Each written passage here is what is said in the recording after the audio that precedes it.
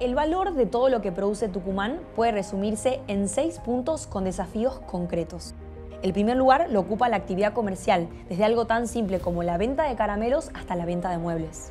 El segundo puesto es del limón y sus derivados. Somos líderes mundiales en aceites. Lo fuimos en fruta fresca, pero ya no llevamos la delantera.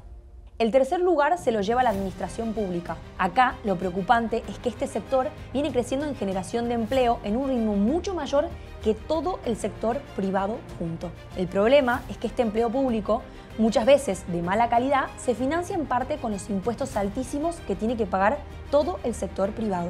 ¿Cómo hacemos para que el Estado provincial brinde servicios educativos, de salud, de seguridad o de justicia de alta calidad sin seguir aumentando sus costos?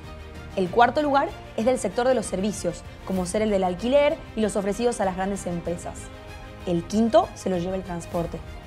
Y en el sexto lugar aparece el famoso sector azucarero, que hace 100 años fue el más importante, pero luego de una excesiva oferta su precio cayó y tuvo que mantenerse de subsidios. ¿Vale la pena esta ayuda estatal?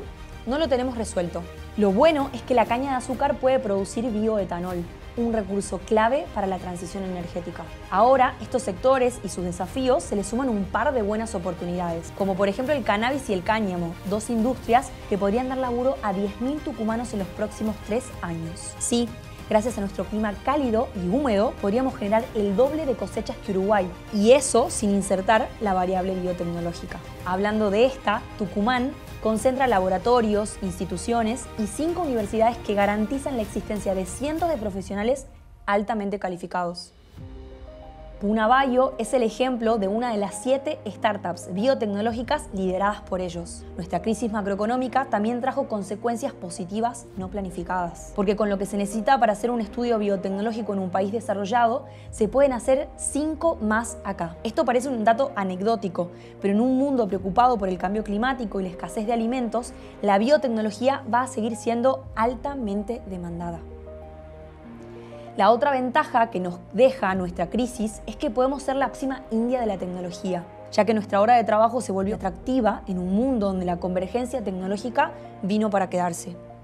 Así, se nos abre la posibilidad de brindar servicios tecnológicos al extranjero, como la programación, trabajos que pueden sacar a familias completas de la pobreza. Solo en un año y con un cierto piso de oportunidades, los programadores tucumanos se multiplicaron y el interés por serlo también. Lo cierto es que hay muchas preguntas no resueltas desde distintas aristas. Por ejemplo, ¿cómo nos afecta la inflación y toda la inestabilidad macroeconómica nacional?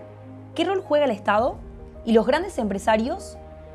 ¿Cómo hacemos para que los tucumanos cobren lo que les corresponde? Sí, el trabajo sigue siendo una parte fundamental del bienestar humano.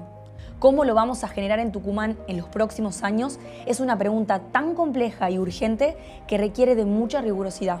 Esta pregunta es tan fundamental que la debemos hacer en comunidad, masivamente, dialogando. Estos son los principales conflictos a resolver.